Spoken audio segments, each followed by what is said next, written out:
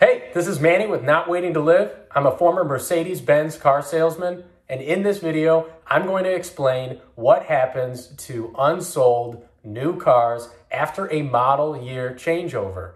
So this video is going to be helpful for people that want to know how much money is at stake when model years change over from one year to the next and those older new cars are left on the lot.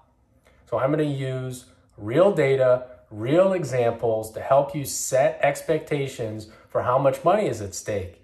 And if you watch or listen to the advice of other auto experts on YouTube, what they're going to give you is, in general, the shadow of a tree, to use an analogy. And I'm going to show you the whole tree, the actual tree.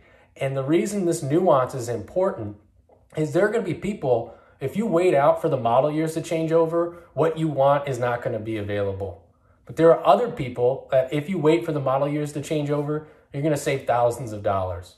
And understanding what the actual fundamental difference is is going to be important. And I'm going to show you in this video. And before I actually get into the explanations, I want to just talk about an, an example real quick. And I'll show you in between 2019 and 2020, the Toyota Highlander changed the body type. And right now, if you were to go to a dealer, they might have an incentive from the manufacturer of about $750. And I'll explain what a dealer incentive really is in a moment. But for example's sake, when that Highlander changed, crossed over, the 2019 crossed over to the next model year, the dealer is going to get a $3,000 incentive, which is money that they're, they're going to be able to use to decrease the sale price of the vehicle. Now that's a difference of 2250, so just just a little over $2,000. That's not always the same discount. So even within the same manufacturer, you can see a different example of comparing the 2020 RAV4 to the 2019. There's a $1,000 difference in the incentive from what a dealer would get right now versus what happens to that car once it crosses the model year threshold. And what these dealer incentives are, it's a subsidy that the manufacturer gives a dealer based on a number of variables, including national demand, regional demand, and the local sales goals and uh, unit production of that specific dealership. So I talk about this uh, in some more detail in my video about myths at from buying a car at the car dealership. But dealers do not sell a car based on a dealer invoice and a holdback number. That's a myth, which I go into more detail about. What they're really basing their decision on is how much incentive that they are going to receive from from selling a vehicle, and that varies from month to month. And it unfolds in real time, and it's not just manufacturer specific, not just model specific, but trim specific one specific trim might have a significantly higher incentive than another.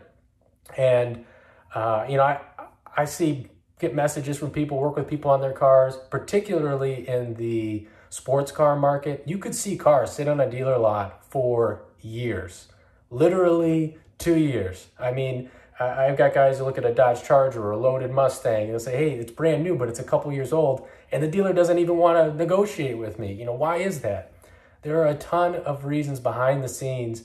Um, this dealer could be playing a cash flow game. Maybe it costs them $100 a month or $200 a month in interest to hang on to this car. So they're willing to wait it out. They're willing to see if they can hit their other sales goals for a specific quarter or a year that could make or break what incentives they get. Uh, dealers can get backdated incentives on cars that they sold if they hit certain milestones. That means they could make an extra 5% on every single car that they sold. There's a number of behind the scenes mechanics that make one dealer different from another. Now, right now, I, I do have videos on my channel where I talk about the most recent dealer incentives and the biggest dealer incentives for each brand. So you can check out those vehicles to get a sense of what is possible.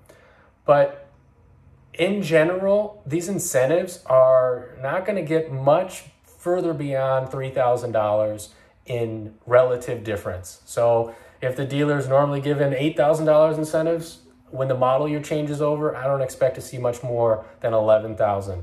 If it's normally zero, I don't expect to see much more than 3,000. And I, want to explain why through an example here. We're going to bring up a dealer or a manufacturer, Honda. Now, this example is relative to the coronavirus pandemic. Right now, there's a ton of uncertainty, an extremely sharp decline in demand uh, for new cars. But let's see how Honda has, has handled this so far. We see as a brand, they're down 28% in sales. Civic is down 27.5%. Accord is down 33%. CRV down. Interesting. Ridgeline, not really down. Down negative 0.2%. So sales are roughly the same year over year over the same period of time through April. But at the same time, Honda has been able to respond to this uh, lack of demand or decreasing demand in real time. So their brand production is actually down even more than the sales is down. Brand production is down 39%. So they are, people are buying more new cars right now than they're actually making.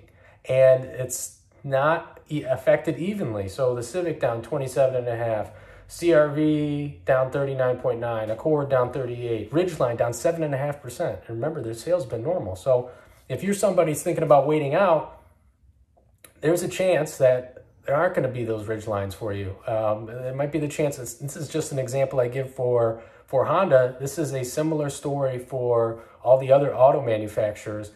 They have a good ability and actually got a gift, which you know, I, I talk about this in one of my videos. Um, I give you five reasons why most people overestimate the effect on uh, car prices or the effect that coronavirus has on car prices because these dealers have proven the ability to react in real time to just reducing the supply, which ultimately means there isn't going to be this glut of extra cars that they need to massively discount from the manufacturer's end.